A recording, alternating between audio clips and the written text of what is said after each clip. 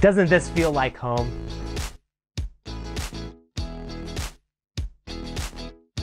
Maybe not. I'm Nick Lynn with Revere Real Estate. We're standing here at our property, our newest construction project here. Uh, this is a ground up build of two homes in Hermosa Beach, California.